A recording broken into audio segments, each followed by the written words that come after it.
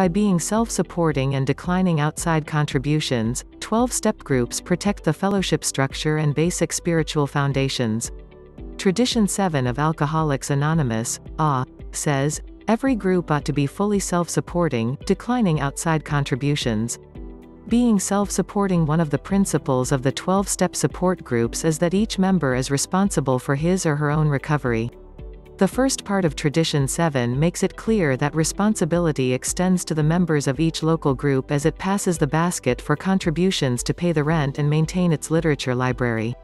If the group collects more than is necessary to meet its expenses, the group can contribute to its World Service Office, which also follows this tradition by accepting no outside contributions.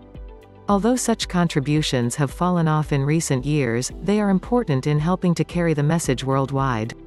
Rejecting outside contributions The second part of this tradition addresses the issue of the fellowship not becoming involved with outside issues or conflicts that could arise by accepting outside contributions. If such contributions were accepted the group and its members might feel obligated to make some kind of concessions to the individual or organization making the donation. Declining these contributions keeps the fellowship independent from outside influences.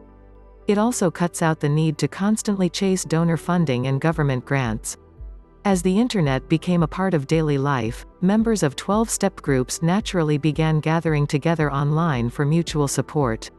Many of 12-step online support groups, but not all, were able to adhere to Tradition 7 and remain self-supporting, keeping outside advertising off of their websites and out of their online meetings.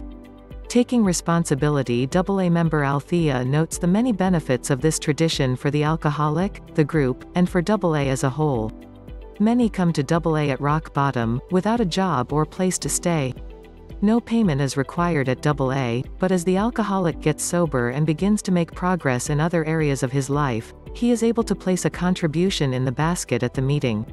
It makes him responsible for the first time, for many, to take care of himself and give back to the group.